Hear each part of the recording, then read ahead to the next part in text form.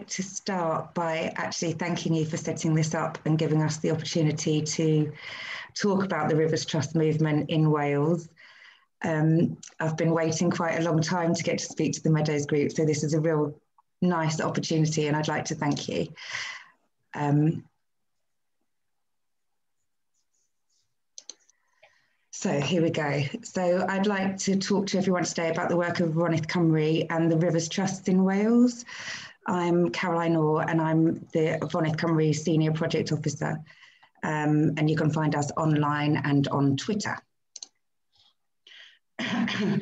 Before we start, I'd like to just pay a brief homage to our late great CEO, Dr. Stephen Marsh Smith, who sadly passed away in August, and he will be greatly missed. But there's a lot of work and projects that I'm going to speak about, which were started by him. So, okay, so a brief rundown of the Rivers Trusts in Wales. There are six Rivers Trusts in Wales. We cover all of Wales and the Marches. Um, there's a map there. I think the one we're very lucky to have Harriet with us tonight. She'll be speaking later. Um, and she's currently working for the West Wales Rivers Trust, which covers the area of Carmarthenshire Meadows, Pembrokeshire, and Ceredigion. Um, Afonydd Cymru's role is basically to facilitate works for Rivers Trusts, regional Rivers Trust to deliver on the ground. We have been accused of being a fisheries organisation. We are fisheries focused, but that also encompasses habitat restoration, freshwater, land use, and various other practices because they're all connected. We go from the uplands right the way out to sea. And we, we do use salmon and migratory fish as our um, iconic species. I always kick these things off with by asking why are rivers important? Um, almost 70% of the planet is covered by water. Less than 3% of that is fresh water. Um, the rest of it is saline and ocean based. Even then, less than 1% of that is accessible fresh water. Rivers not only support life as we know it, Jim, but are significant contributors to the worldwide water cycle. Um, on that note, as you can see on the left, we have a lot, a lot of water in Wales. Um, we're quite lucky. Uh, some areas get up to three metres of rainfall per year. And rivers are also important because of habitat connectivity and all other biodiversity gains that they supply very briefly, I could talk about that all night, but I'm not going to. Okay, uh, I have to touch on the threats and issues that rivers are facing, uh, especially the rivers in Wales, where we're concerned about. Um, they're extremely vulnerable.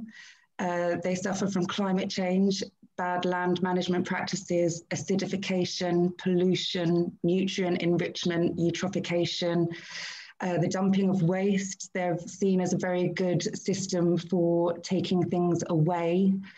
Uh, sewage works, pesticides, invasive species, blockages. There is a lack of regulation that we have in Wales. Um, and abstraction, these are just naming a few, and I will go into just a few of those going forward. And actually, what we're doing about it, I'm trying to keep this an extremely positive talk.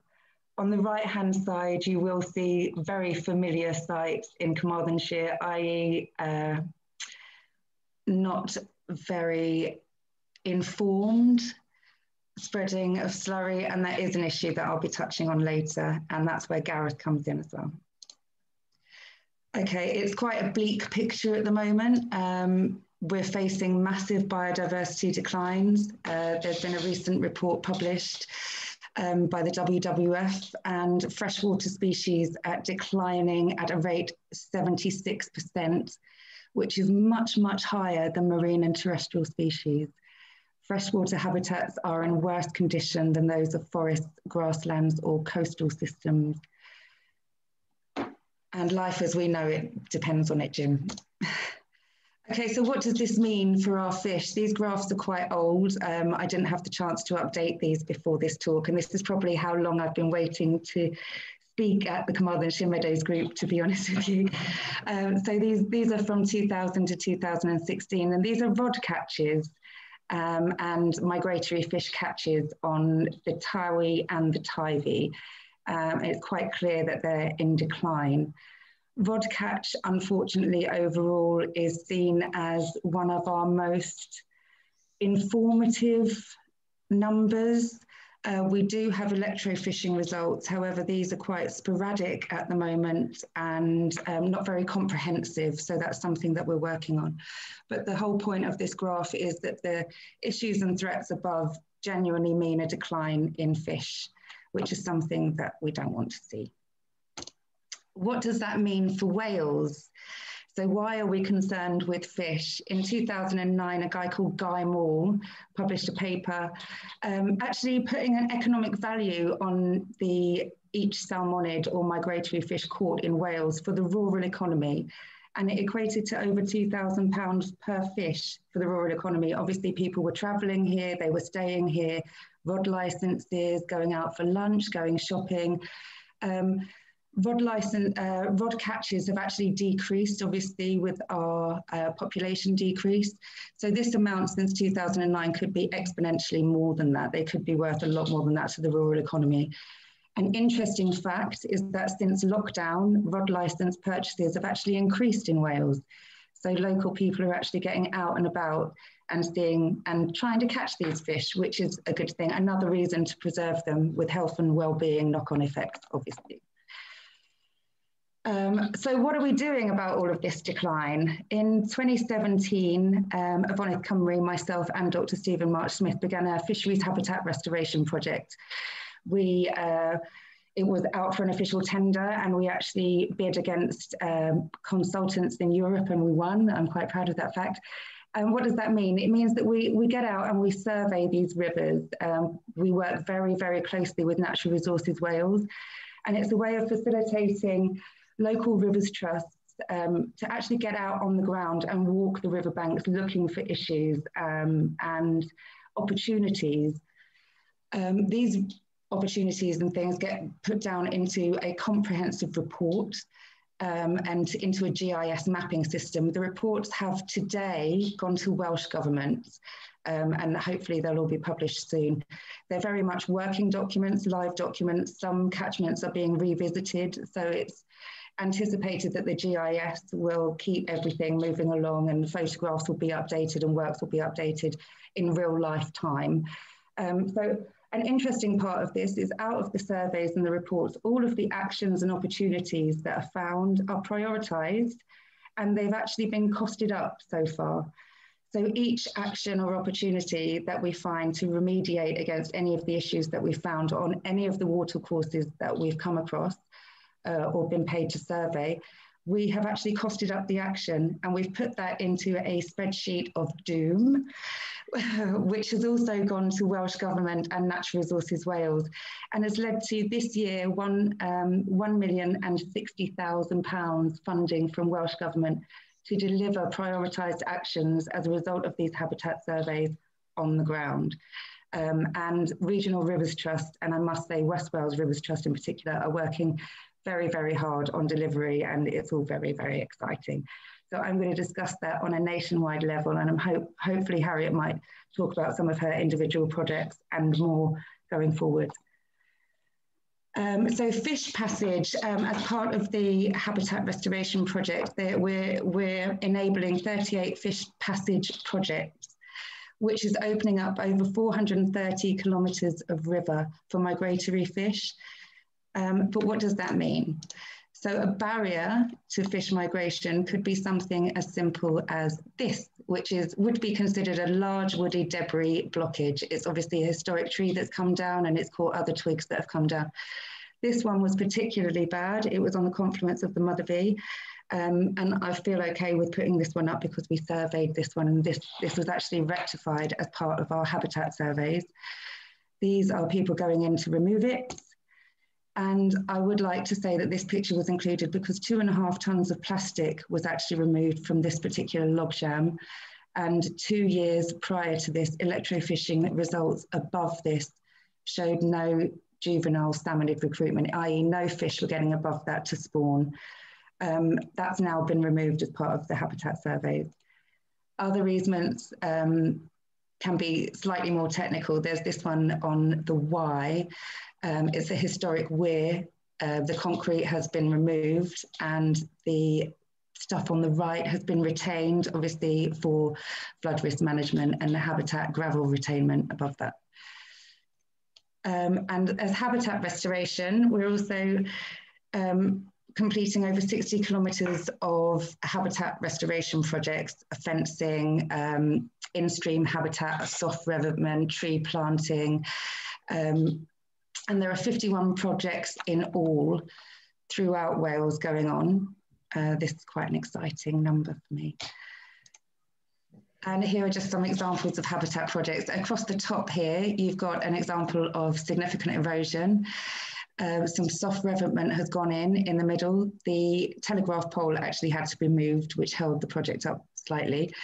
And to the right at the top is two years after the work has been carried out. So you can see that the riparian habitat has actually repaired itself really, really nicely. So these works can have significant effects on river health and spawning habitat actually. Um, and to the bottom here, we have riparian fencing and soft revetment again, and obviously the need for it on the left and the result of it on the right. We're also running the European Maritime Fisheries Fund, which is a really exciting nationwide project as well. This has been running for a, a few years now. We've had various delays, and I will say that this hasn't been the easiest fund to run with requests for information from the EU, but we are getting there and most things have been completed. And just a few examples again of work that we're doing. Um, this is a weir removal in the Dee area, I believe. This is another weir removal and strategic boulder moving in um, southeast Wales and this has opened up approximately 10 kilometres of spawning habitat. Uh, there's also, this is really exciting, there's um, coppicing materials laid into riverbanks, eight large gravel traps, 25 tonnes of boulder stone and 60 tonnes of clean gravel also added to the lower Olwen. Um, and that's a really exciting project. So that's, that's a habitat restoration in a nutshell, really. Another threat that we have is forestry and acidification. Uh, this is quite a significant problem in Wales, as you can see from the map on the left. The darker the area, the more high the risk from acidification. Acidification is generally caused from air pollution, closed canopy forestry, and intensive forestry practices in the uplands um, and various other things.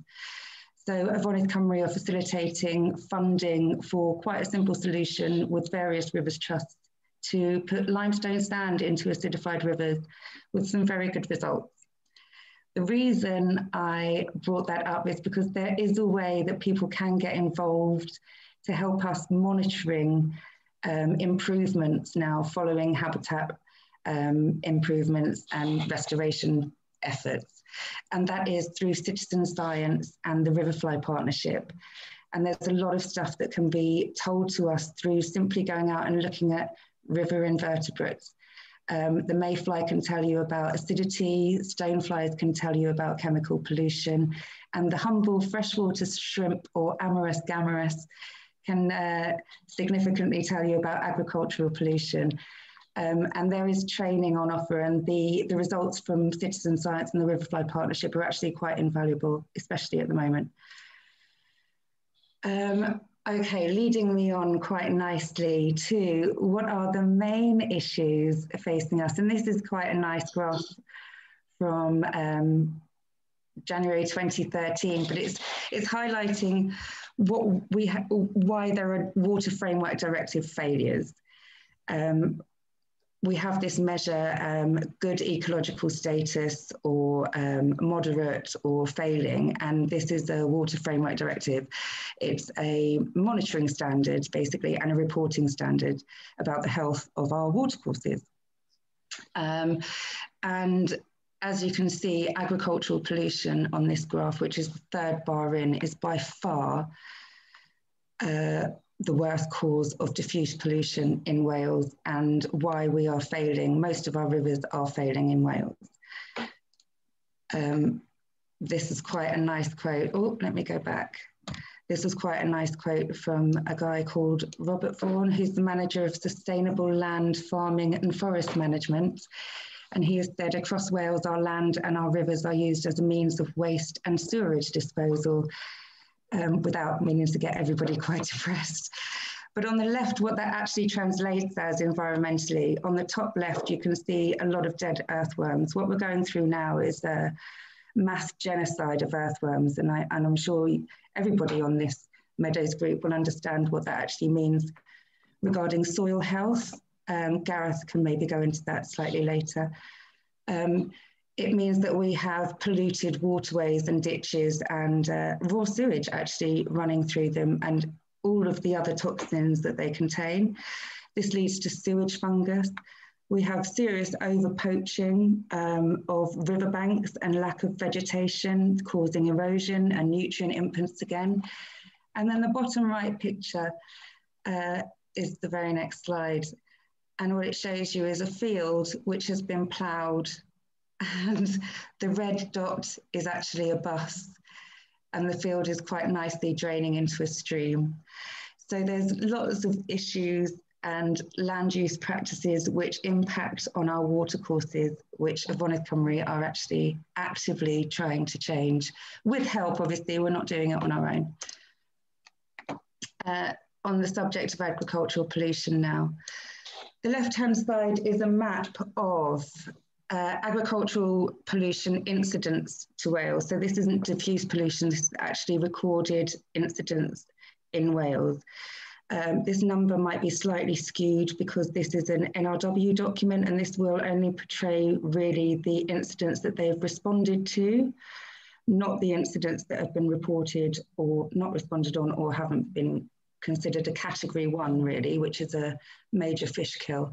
So this is the map, obviously the darker the area, the more the incidents. And this is a map from 2020, 2010 to 2016. This one is a map from 2010 to 2018. And this is a map from 2010 to 2020. And I think what's quite clear here is the situation is not improving at all. Um, if anything, in southwest Wales, the situation getting worse, it's declining. Um, I was in a meeting this week actually with the chair of the Rivers Trust, which is the Afonydd Cymru equivalent in England and much more successful, I might add. Um, and they said that their objective is not to make it worse slower, it's actually to halt the decline. And I think that needs a very concerted, joined up effort. Um, and there's a whole suite of reasons why that isn't happening at the moment. Uh, I have to talk about this because it's been a very hot topic. This is intensive poultry units, another form of agricultural pollution. And this is a, this is a map that's been generated by CPRW in Powys. And it actually shows a planning issue here. Um, there's a serious planning issue when it comes to consenting things that could have a cumulative effect on catchments. There isn't a joined up approach here, and they do have I think, an environmental, if not a legal responsibility to consider that. But this shows the extent of the problem. Um, obviously, the pink, orange, and red ones, uh, dots, are sheds that have been consented, and the blue items are sheds that are in planning at the moment. Free range poultry units um, are not necessarily the best case scenario for a watercourse um, because of their potential for runoff. However, I think that's a whole nother slideshow and it's not, it's not really something I want to get into now. You, um, the Wye and Usk Foundation have done a, a, a lot of research on this. And NLW actually have a statutory responsibility to protect and enhance our watercourses. And I think that this map quite clearly shows that there's a disjointed approach happening somewhere along the line.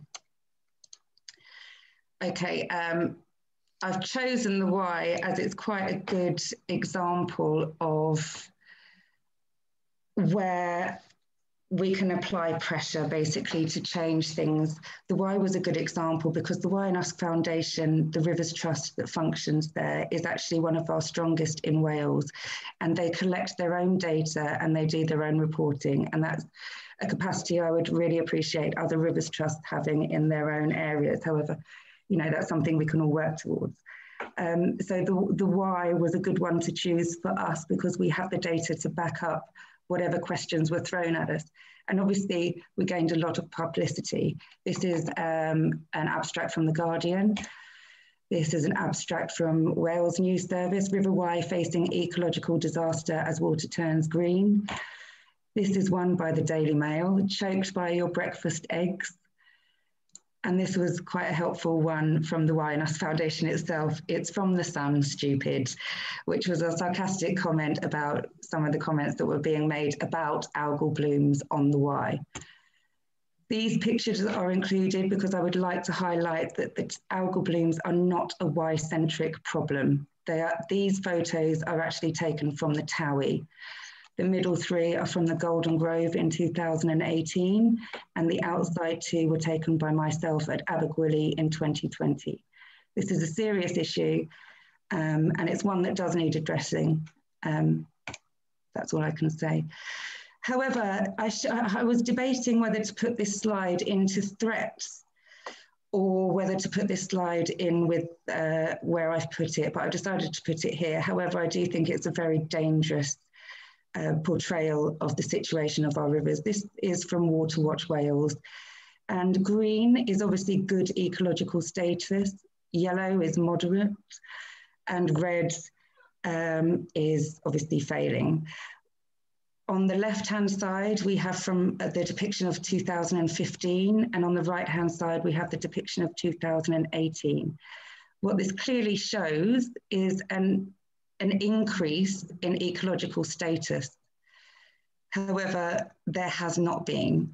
What's actually happened is monitoring has decreased and anomalies in phosphates have, uh, have been found up to 78%.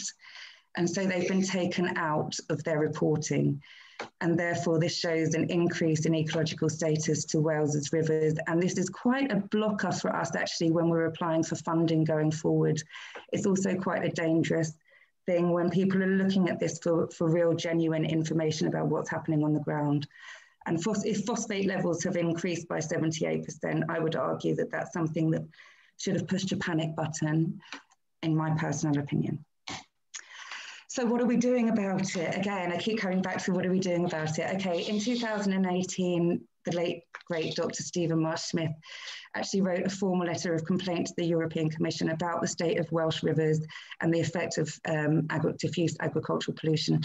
This has resulted in uh, Welsh government discussion on agricultural pollution measures they were due to arrive in Wales in January 2019. However, there has been much stalling. Um, Wales is obviously very much a farming um, culture. And um, I think there was a, a knee-jerk reaction to what was being proposed. So um, Afonydd Cymru now, along with the World Wildlife Fund, Wales Environment Link and others are joining forces specifically to tackle this this issue. There are avenues that we are preparing to go down, I would say. However, that's something I would ask you to watch this space on. Thank you. Also on agricultural pollution, we are running a, a agricultural pollution project, which brings us nicely into Gareth's presentation. So that's the end from me. I hope everyone's still awake. Thank you.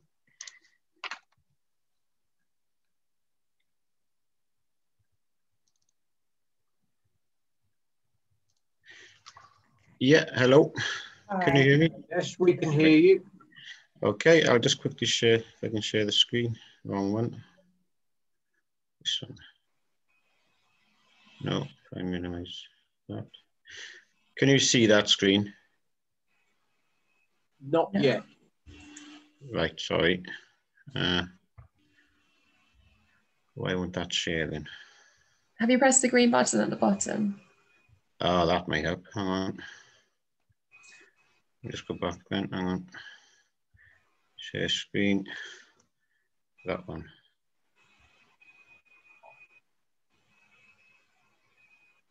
Can you see it now? Yes, that's working. Yeah, we're there. Okay, great.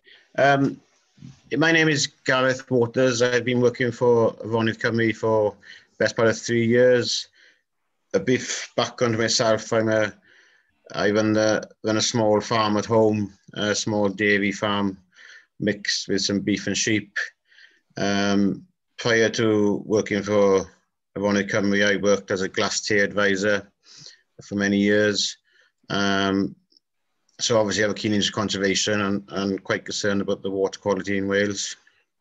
Uh, my current job is working in the Tywi catchment. Um, we have um, been uh, provided monies to provide grants, some small grants um, funding for farmers in the area. Uh, basically, the brief background is the Valero incident 2017 um, funded out this current project. Uh, there are three of us working in the Tywi catchment.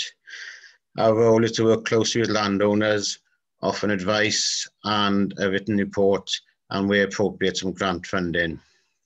It involves a series of farm visits through cold calling or using existing contacts. And within the visit, then we try and highlight areas that are affecting water quality. What we can offer as we go down the, the presentation.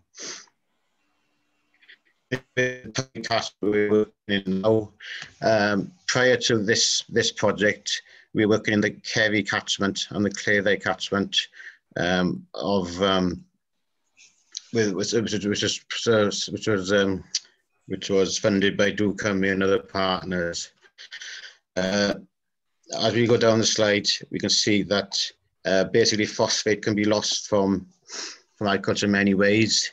Uh, stock access to watercourses, uh, inappropriately placed muck heaps, dirty yard drainage. As part of our role, when we go onto farm, we try and highlight these areas if, if there are any of these areas on the farm and we try and resolve them with, with, with the report. Um, other areas where phosphate can be lost is soil. Soil is extremely important to us. Um, as you can see here, soil erosion um, can increase sedimentation in, in, in waters. Uh, there's poaching from livestock, and again, more evidence of soil erosion. The effect of this is that if there's too much sediment within within watercourses, it can it can cover vital spawning uh, and gravel habitats for salmons, the salmonoids. Uh, indeed, if they cover more than four days, they, they will die um, well, as part of our report, we advise on some land management issues. Uh, we can give waterlogging advice, compaction through soil testing on organic matter advice, um, some undersowing, and something I think which is extremely important and valuable going forward is uh, a SciMap. Um, this basically shows where the water runs to, not just with the contours, but actually the topography of of the slope. So every farmer that um, that engages with us, and we do a report and gets a copy of their holding uh, of their land that uh, with with the SciMap on it. Uh, basically, the red areas are where the water flows to, so it can help in management decisions of when to spread slurry or when not to spread slurry uh, where to put um, farm manure stocks or not to put them, and outwintering and also with cropping advice. Um, some of the examples we, some of the kind of grant work we have funded, uh, you can see um, here uh, quite a badly poached yard. Um, and then also when the drainage has been sorted out, the concrete is there.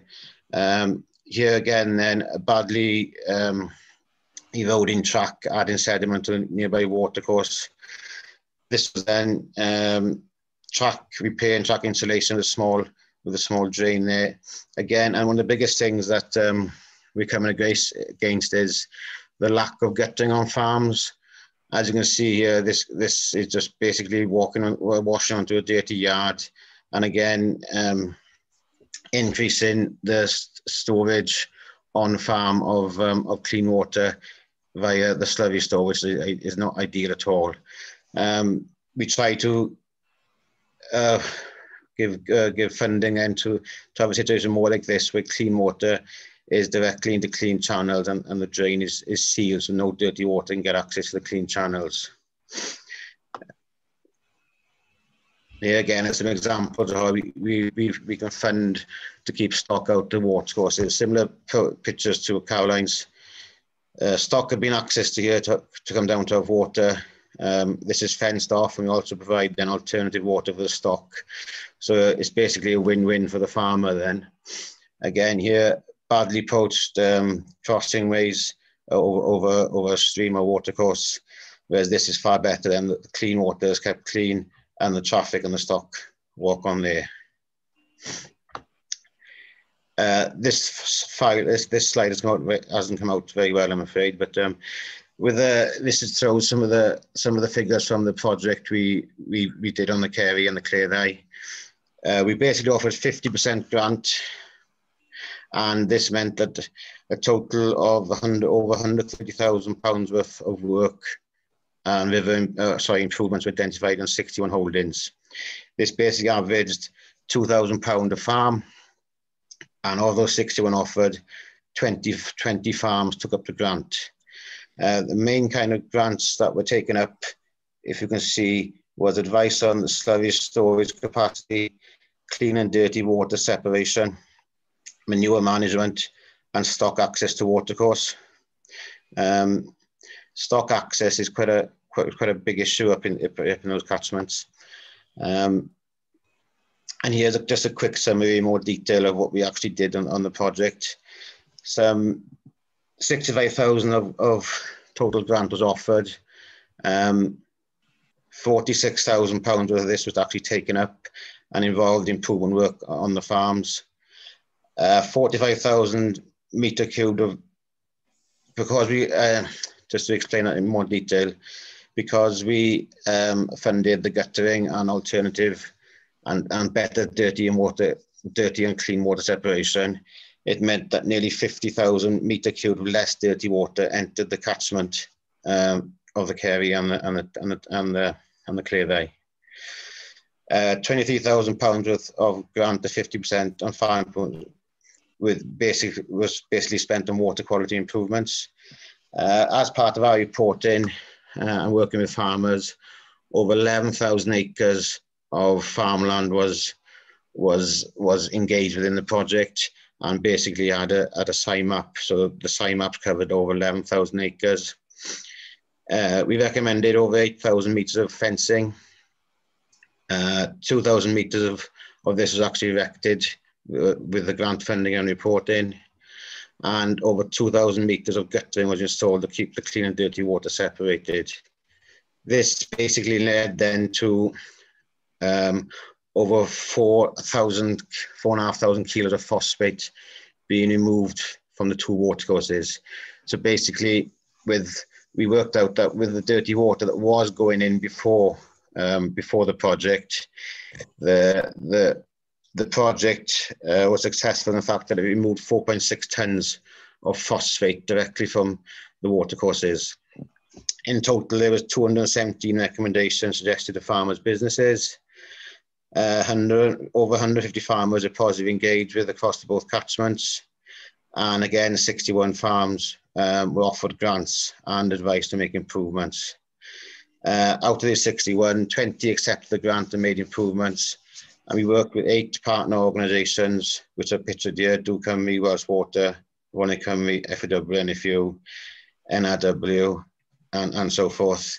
Uh, and also five drinking bays were, were, were blocked. Um, as part of the, I think one of the success of, of, of the project is the fact that uh, we, we are from a farming background, we understand the difficulties farmers have um, we try to emphasize the importance of soil to the farmer.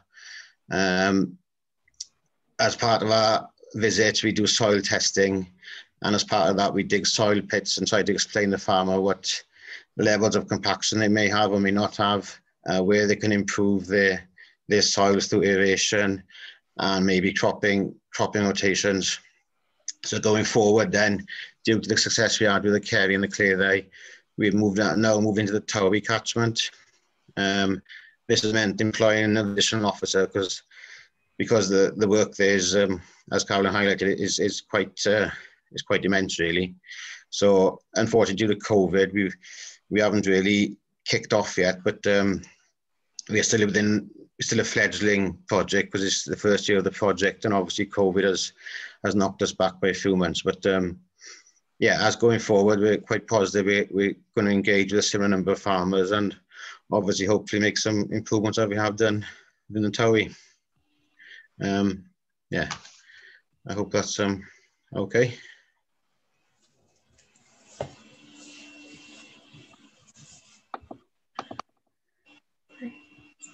Okay, thank you very much, Gareth. I think you have to stop sharing your screen now. Yep. I presume you click Okay. on that button again.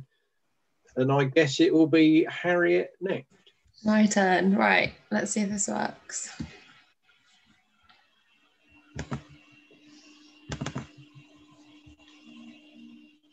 Hurrah! Yes. Right. Hang on. it's always in the way, this thing.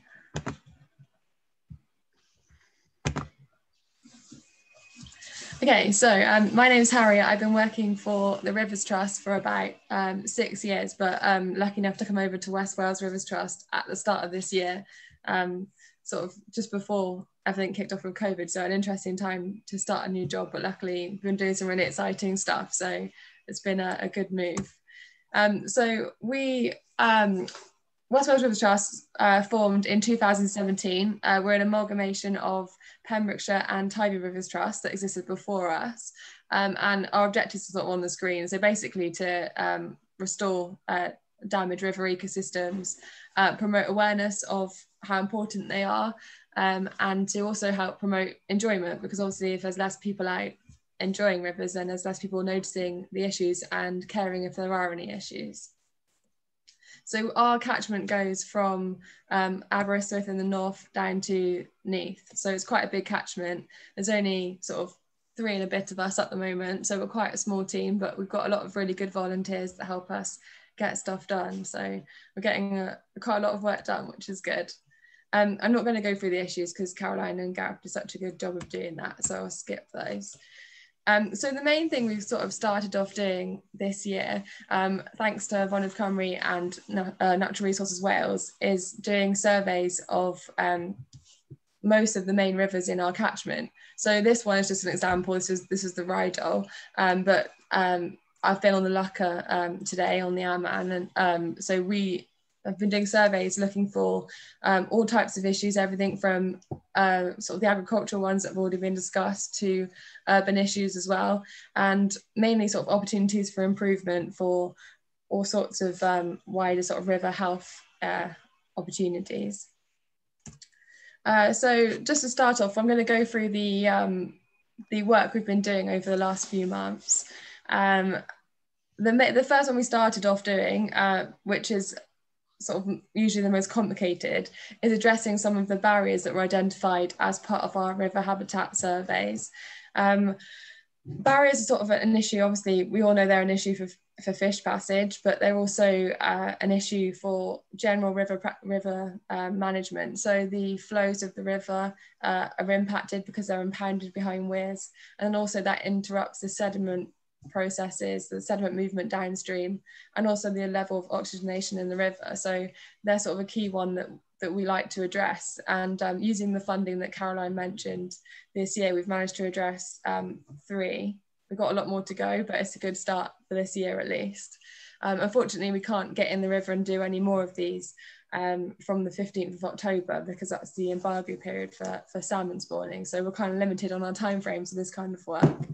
But um, we've managed to get three done anyway. So I'm just going to run through the, the examples of what we've done. Um, um, actually, this is a really important map to show. It shows you the extent of the issues uh, with barriers in our catchment. So every single one of those dots is a barrier in Wales that we know about, and there's likely a lot more that we don't know about as well.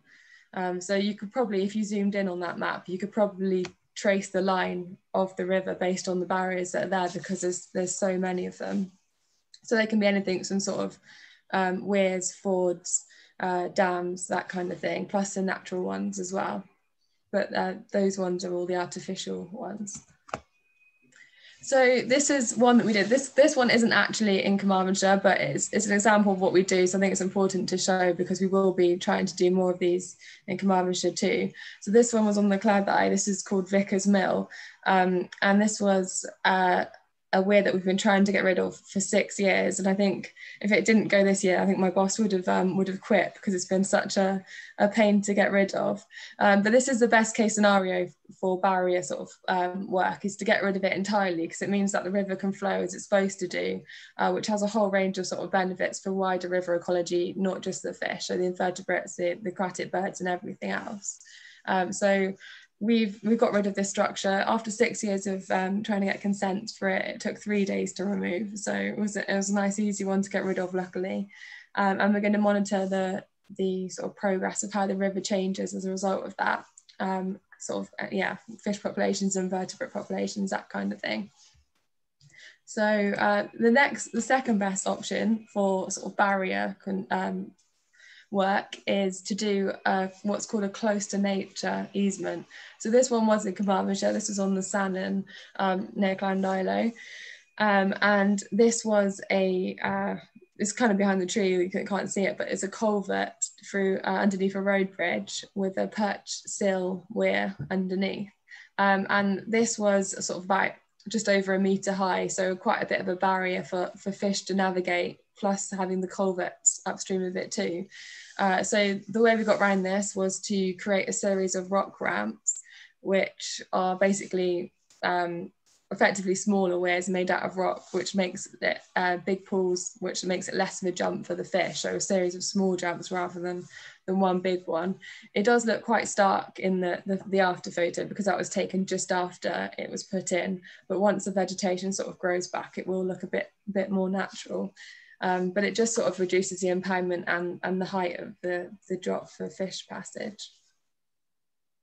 Um, then the next sort of option for addressing fish passage, this just doesn't address the, uh, the actual barrier, but um, sometimes with sites, the access is really poor um, and we can't get in to take it out. Or there's different constraints along the weir such as like uh, buildings right next to it which mean that if we got rid of a structure it might cause erosion and we might lose properties and all sorts into the river.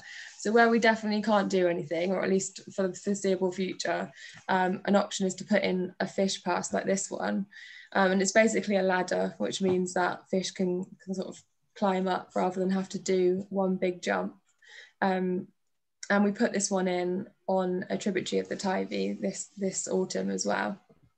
So we'll be monitoring this one to see how successful it is. It, it was a quite a low cost option. It was a, a flat pack um, that our contractor put together and managed to get into a, a difficult to access site. So um, yeah, an another option for sort of addressing fish pass with a, with a small budget. The, uh, the next thing that we are looking at, at doing in quite a lot of locations is um, habitat restoration. So this ranges from anything from putting wood back into rivers where um, where it's been stripped and sort of um, like straightened and made um, ruined of habitat. Um, but the most exciting one is where rivers have been straightened. So there's a stat that came out a few years ago that said that um, over 90% of our rivers have been straightened over widened or modified in, in sort of some way. And a lot of our rivers have been have been straightened. And what that means is that we lose the meanders, so we lose the flow diversity, um, we lose the slacker areas of water and the pinch points, and they're all really important for different invertebrate species and different different fish species and different sort of life stages as well. Um, and you essentially lose sort of meters of habitat because it's been put into a straighter, uh, shorter channel. It's also really bad for, for, flooding as well because you send the water uh, downstream quicker to the lowland areas which are more liable to flooding. So we like to, where we can, uh, put back in the, the old course of the river. Um, the photo example on the right isn't actually one of ours, but it's quite a nice clear sort of idea of what can happen. Um, we're working with a landowner on a tributary of the Teifi up near Cors Caron to, to do a project like this. Uh, it takes a lot of planning, so hopefully we'll get it done next year, but um, so it was a really nice project to, to reinstate habitat. And there's plenty of opportunities like this to do in Carmarthenshire, but we're sort of starting off um, and sort of showing what we can do and then hopefully use that as an example site to, to bring other landowners to, to promote that kind of restoration. Uh, one of the key uh, bits of work we've been doing with our funding this year is riparian fencing. So we've got in total about 15 kilometres of riparian fencing that we're doing this winter, as long as we don't have a, a really wet one. Uh, we've done about between three and four kilometres so far.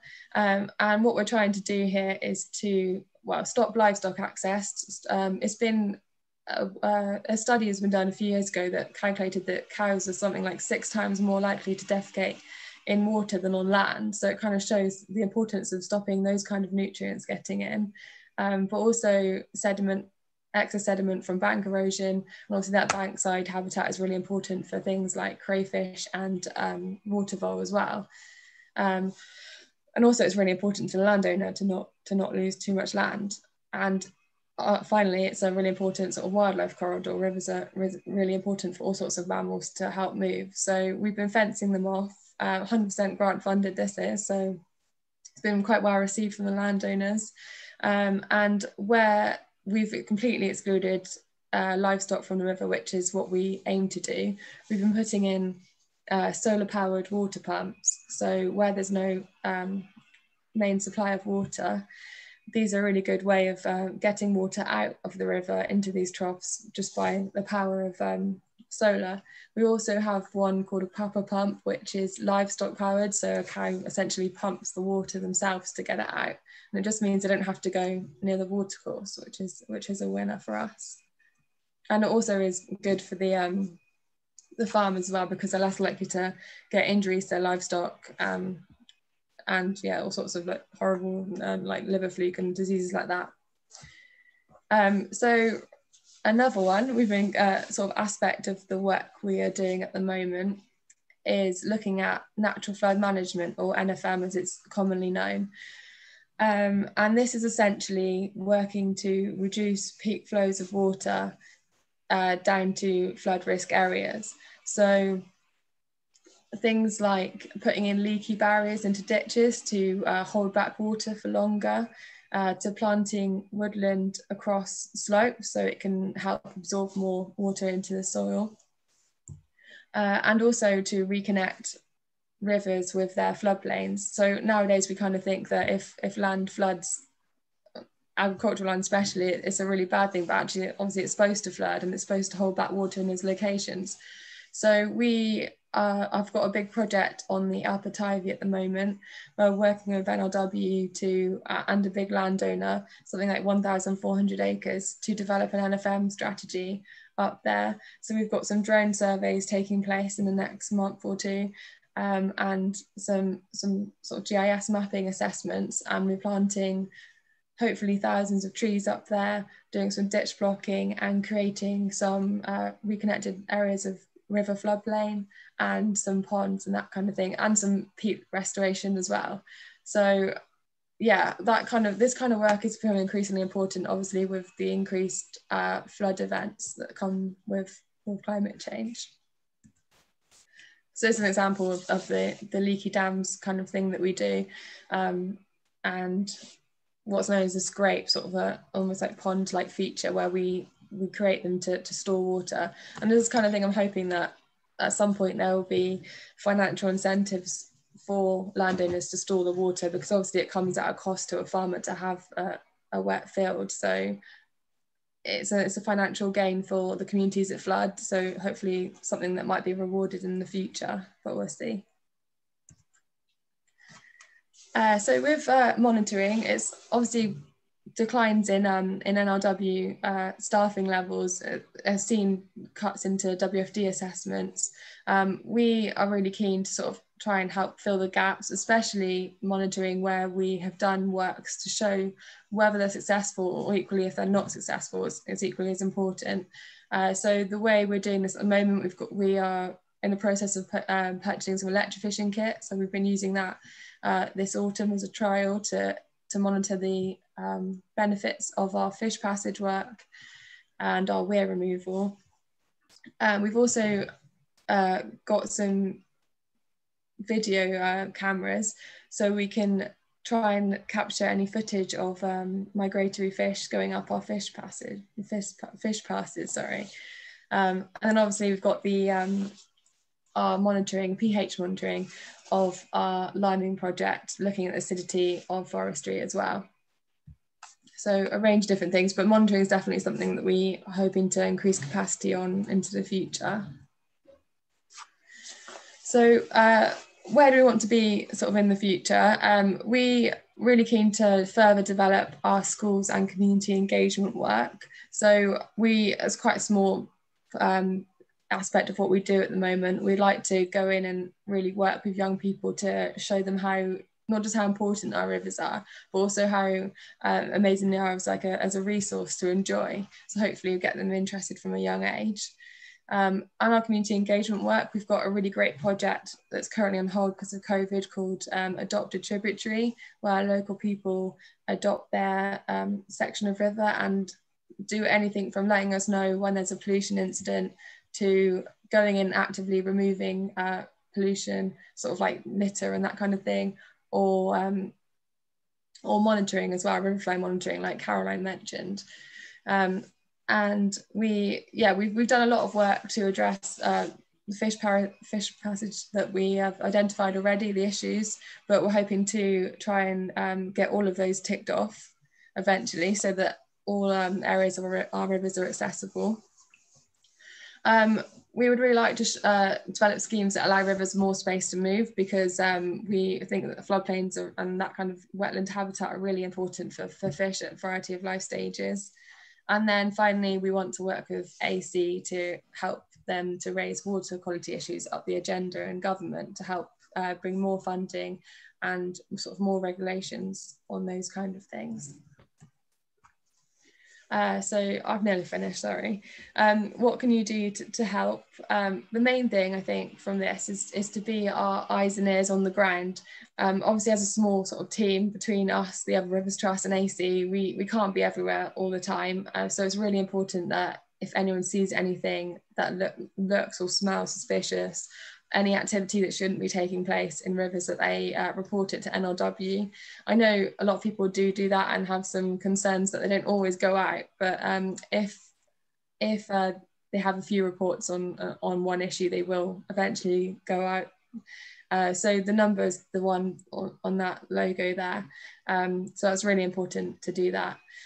Um, and there's a few sort of uh, campaigns going out at the moment, especially regarding um, sewage waste get, getting into watercourses, which are, are, worth sort of signing or writing to your MP about just to raise that up the agenda because um, well, we've got some exciting news. I don't want to take Caroline's limelight on that, but we've um, we're releasing the uh, um, an interesting map in the next couple of weeks showing the um, the combined sewer overflows, to our sewage outfall data.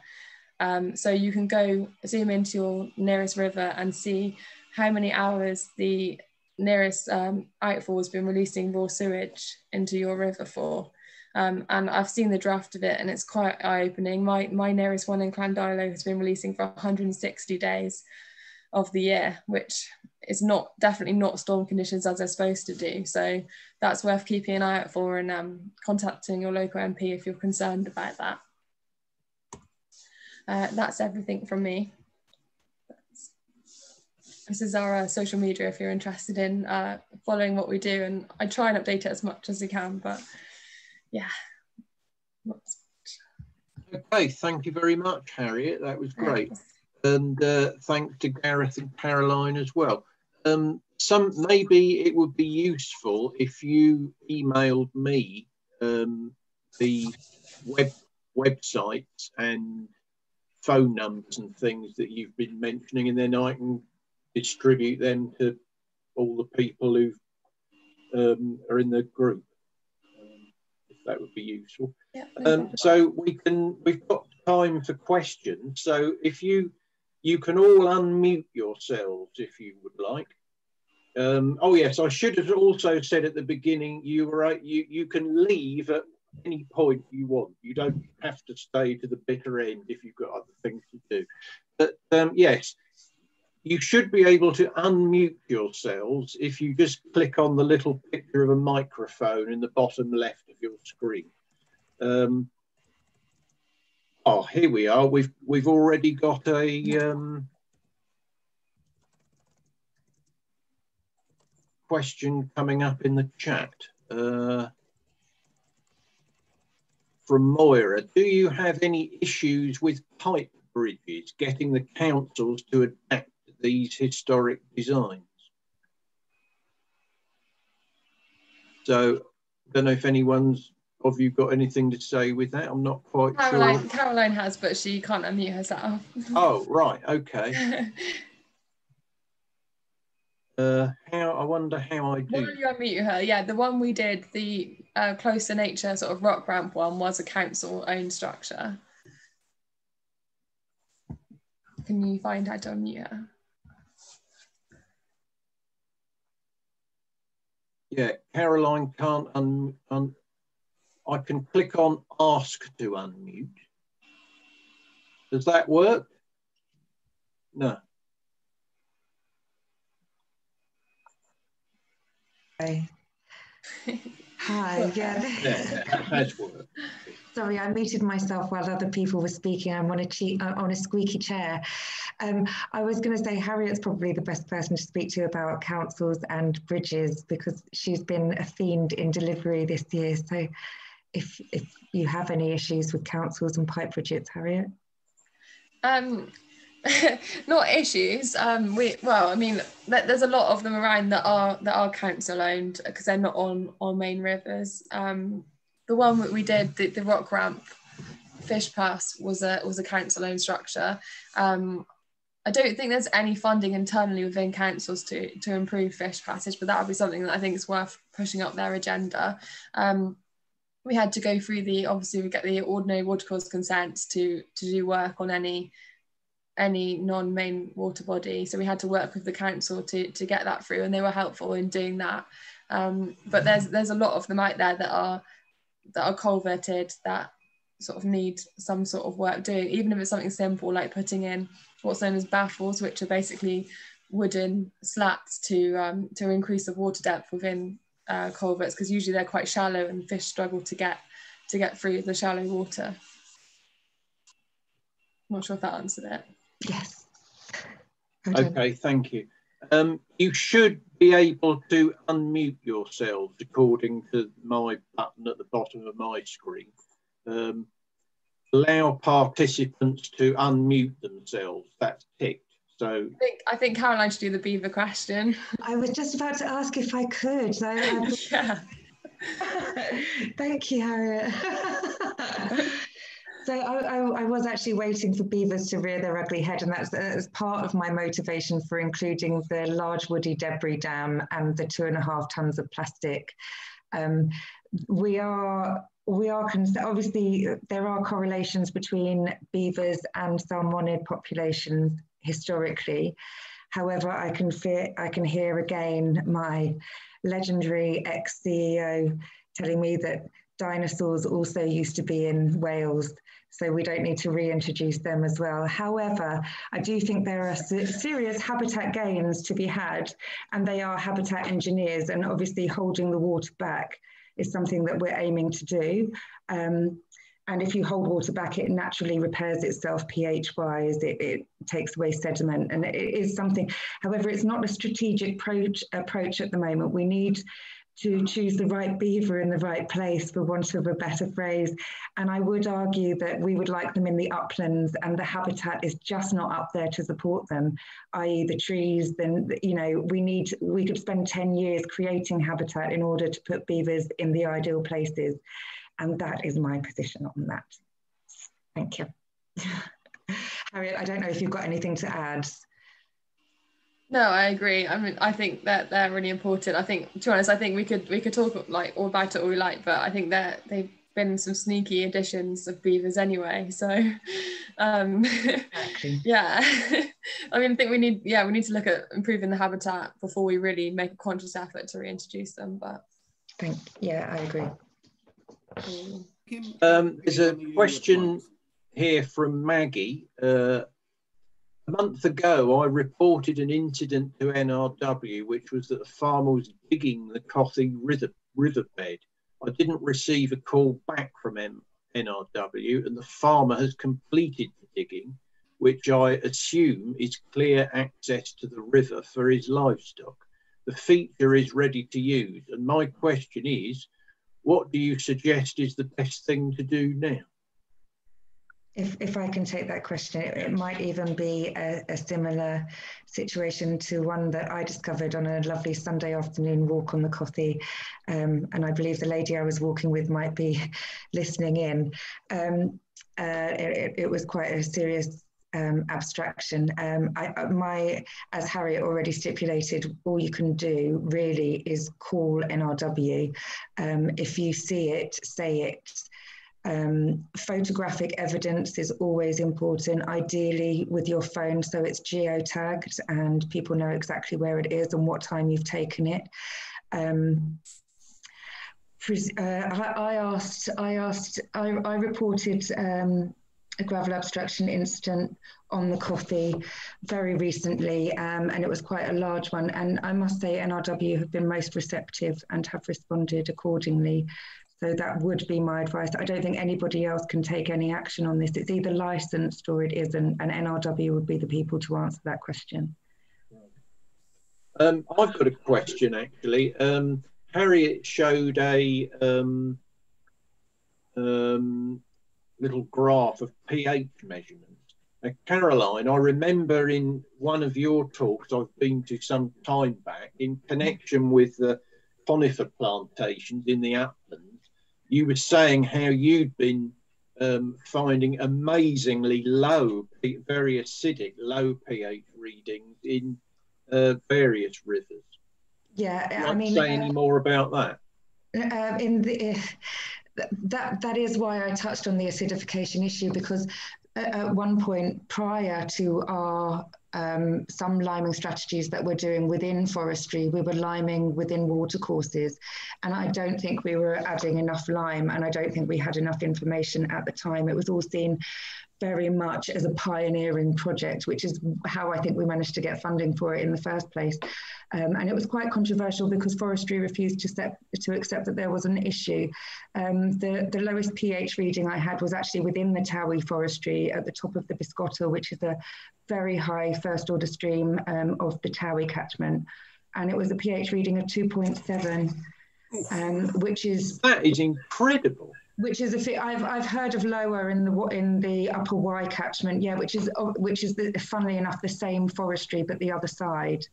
Um, so I, I mean, argue, arguably, it's a it's a massive massive problem. But uh, the Tywi you see is quite a unique issue as well when it comes to acidification because you have historic lead mines just below it, and pH, low pH and acidity, and lead um, and aluminium don't don't really mix for fish it's, it causes uh, we call we call acidity the silent killer for salmonids because it it actually makes the aluminium a lot more active in the watercourse um, and it sticks to their gills. Now they can swim out to sea, but they can't actually change to saltwater breathing animals, so they suffocate while they're while they're going through osmosis process. But that that happens in acidified waters. Um, and that's that's something that we really need to to be aware of in Wales, definitely. And it's something that I think is quite an underrated issue. So. Do you know if the liming that you've done up up in the forestry at the near the sort of the rivers has, has that been effective? Absolutely, it, it, has helped. We've extended. Obviously, it's all trial and error. We uh, this is now a West Where I'm, I no longer work on this project. I hasten to add, it is something that I did work on for a long time. So I don't want to tread on anyone's toes. Or um, if Harriet, if you've got anything to add, that that's great. But it's just, um, yeah. I'm sorry. What was the question again, Andrew? How well has it worked? Oh, it's work. It is working. Obviously, it's trial and error. We realised we weren't putting enough in. We changed strategy. We started building leaky dams and applying powdered lime in gullies within forestry, the herringbone ditches that they build. And I, I presume I, have since then I've I've not been involved with the project, so I presume that the results are looking good. Harriet would probably better place to tell you about the positive results of that. But it, as far as I was concerned, it was definitely working. It was quite significant results.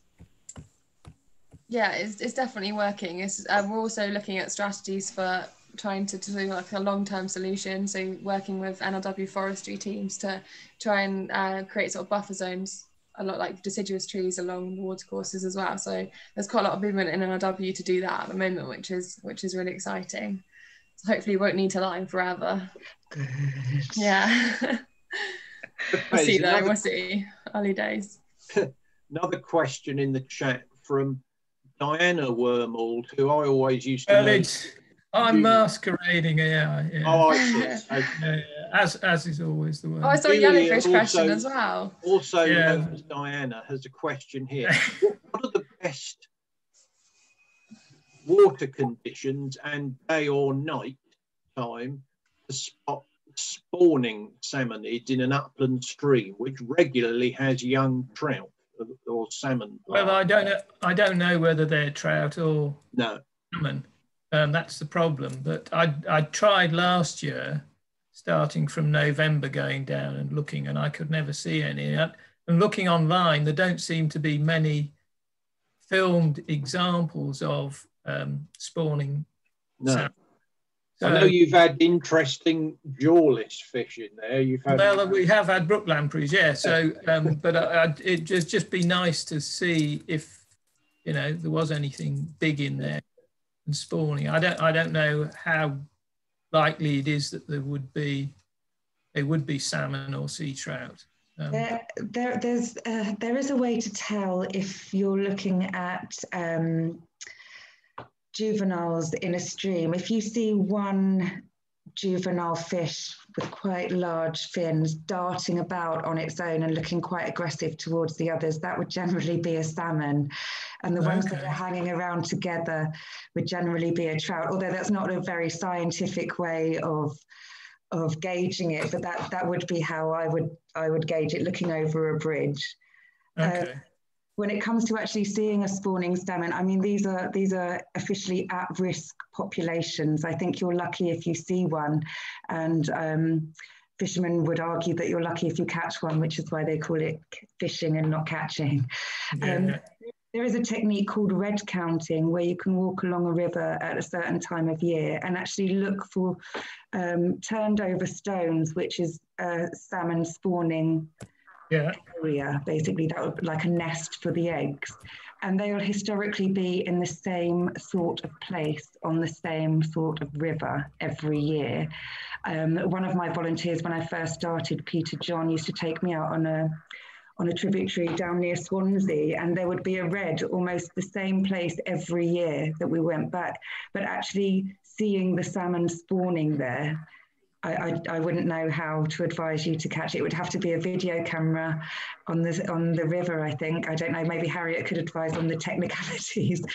The um, the, the, the, far, the farmer who is used to own the property um, tells us that he used to go down in October with a torch and not a gaff but a hook, and uh, you know there were there were vast numbers of fish there. He, every year he would hook out one or two. Mm and uh, clearly the numbers have declined dramatically because or I'm not looking at the right time and think. No, the, the, numbers have declined dramatically, and I think I think the right time is by sheer luck. Unfortunately, at the moment, we are hoping to turn that around as a Rivers Trust movement. Though there is hope; it's not over yet. Yeah.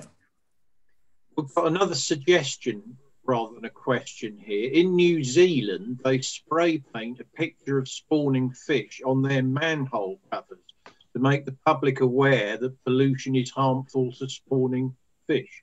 A cheap fix. We do that as well. It's um, it's called the Yellowfish Project in this country. Oh, right. It's a really good project. We haven't done it for a while because well, COVID and stuff. Um, but we yeah, we don't do a spawning fish. We do like a, a yellow fish stencil, which the, the kids put out of cereal boxes, and we spray it with um, a chalk-based spray paint onto the next to the, the manhole covers and the drains, the storm drains, um, just to sort of. I know we put posters up nearby and it helps to raise awareness that the storm drains at the side of the road link directly into the nearest watercourse because most people don't know that and they will like wash their car on the side of the road or I've seen all sorts of stuff poured down in like concrete. Milk is the worst one um, yeah. but it just kind of raises awareness and so few people actually know that those are so directly linked to the health of the river. So it's such a cool project to do with kids and they love it because it's spray painting as well so can't go wrong with that one Another comment here, Caroline mentioned riverflies.org as a good way to monitor health of benthos. Not sure what that means, but test site coverage seems to be patchy, very little on the Tywi. Is this reliant on anglers to provide the citizens for the citizen science? Riverfly is not dependent on anglers at all. It is, however, slightly funding dependent um, yeah. because you do have to undergo a certain form of training. I don't want that to put anybody off. It's just a general ID, and you go down into six or eight categories of invertebrates. You, there's no species level needed, and it's quite simple to see them when they're swimming in the water. Um, citizen science is very much about any citizen who wants to get involved can get involved. Um, uh, and I think I think the riverfly census throughout Wales has sadly fallen by the wayside recently. Everybody's been quite focused on delivering projects, and it is an area that we'd like to kick up again. Hence, why I mentioned it. I um I also um have we have funding for um three riverfly training sessions that we were supposed to do the, just before COVID. So I am hoping to reorganize them for, um, well, whenever we can sort of, I don't know, April, if we can get back out to do volunteer activities. So if you want to get in touch uh, for our website and let us know, I can add you to the waiting list for that one. But we've got, yeah, we're hoping to train another 30 people, so plenty of spaces. Is, is, sorry. Um, another comment, no, another question here. Where are we with iron oxide pollution from mine water in, in or water from mines in the South Wales valleys? Anybody? Harriet, any idea? I have to I have to take this one on the chin and say I am I'm not aware of this, and this is something that I should look up, obviously. And uh, we, we've been quite focused on a lot of other things, and this isn't something that's come onto my radar, unfortunately. I don't know if, if Harriet or Gareth even can add anything.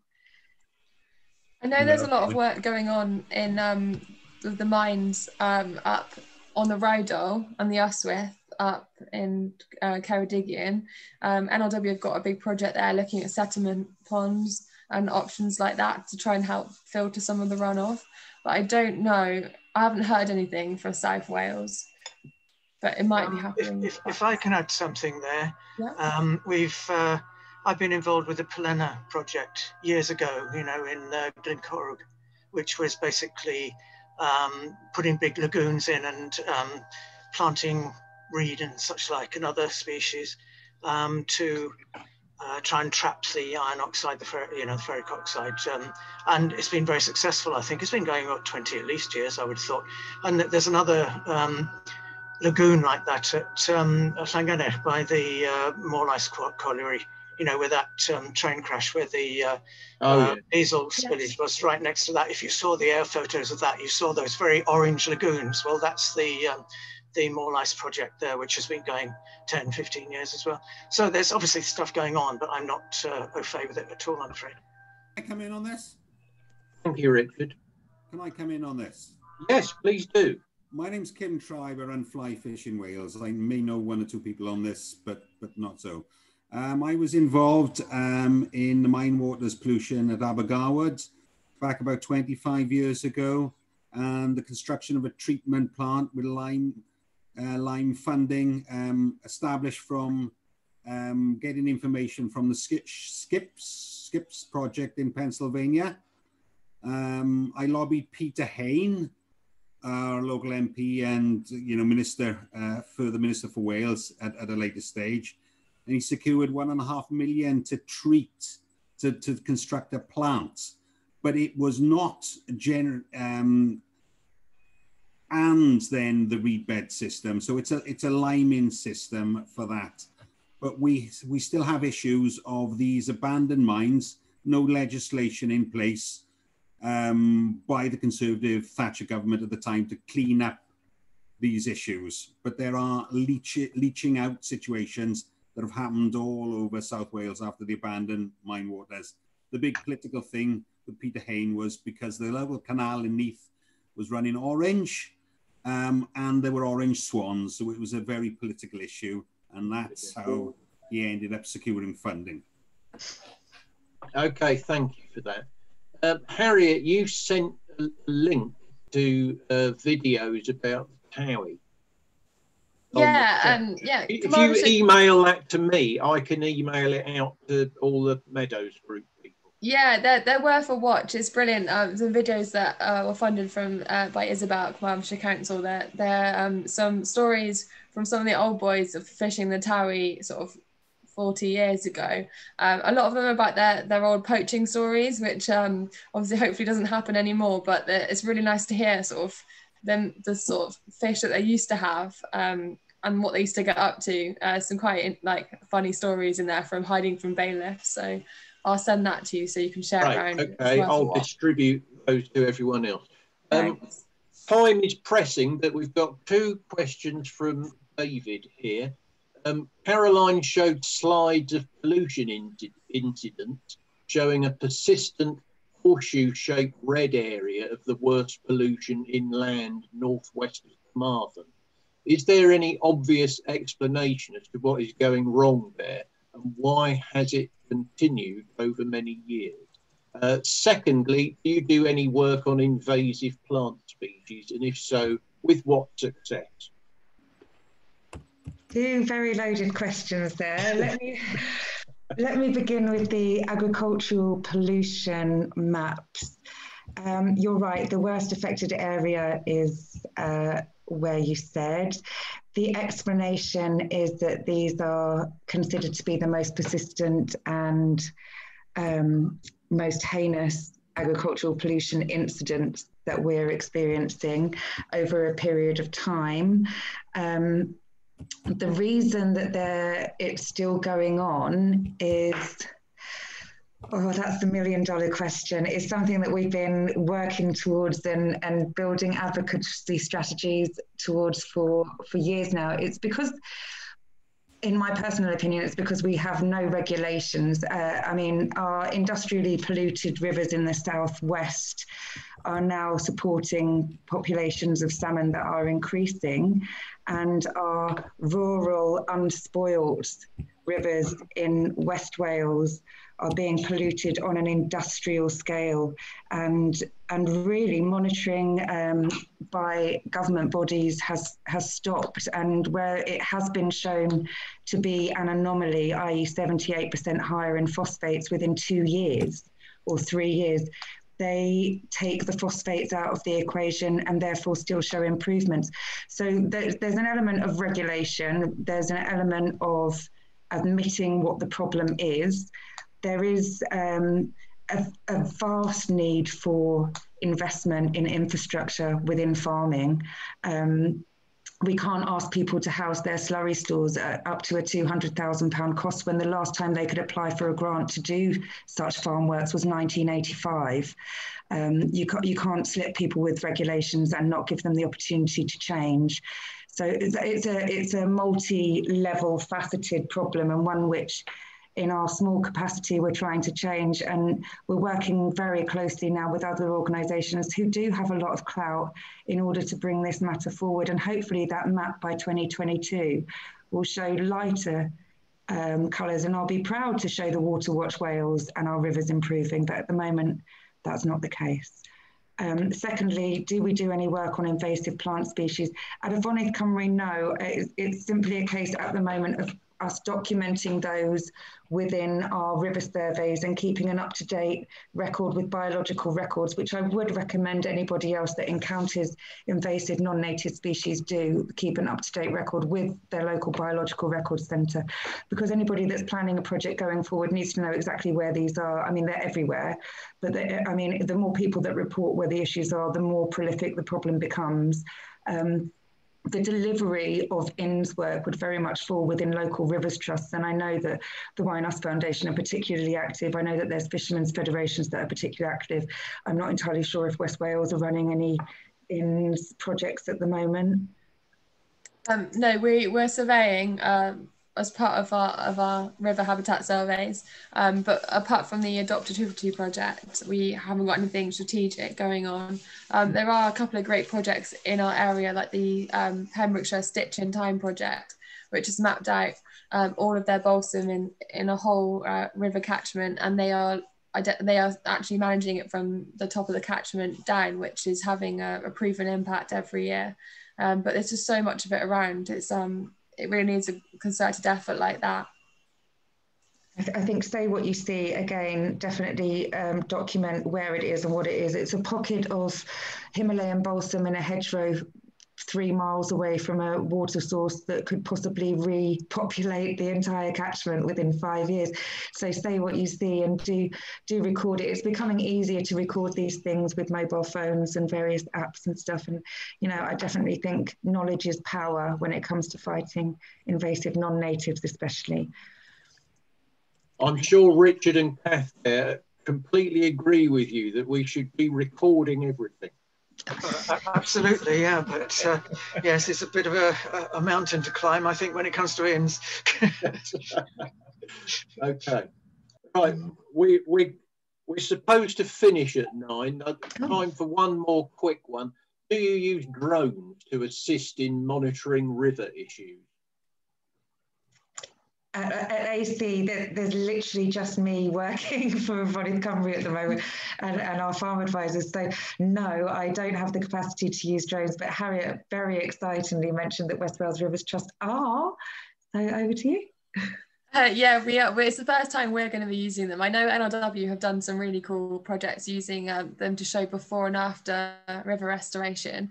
Um, we're going to be using it to um, help map um, land type and um, the benefits of our NFM uh, interventions because uh, we've got such a big area of land to work on, sort of 1,400 acres, and a lot of it's um, really difficult terrain to get to. So we're going to be using it for, for that method. Um, so the difficulty with rivers is that, uh, especially if they're if they're tree lined, they're quite difficult to see from drones. But I think it's something that's going to be increasingly important and you'll have a lovely time playing with it. I'm know. Sure. Is that why I wish I could fly it? That would be great. okay, I think we're past five past nine now. I think we ought to call it a day. So thank you, three of you, for your very interesting presentations. Thank you, the rest of you, for your questions. And um, we hope to be, well, we hope you've enjoyed this and you found it interesting. Um, and uh, we're hoping to put another talk like this on soon. So you'll be hearing from us. So thank you all very much. And thank you. Thanks, everyone. Thank you, Andrew. Thanks, everyone.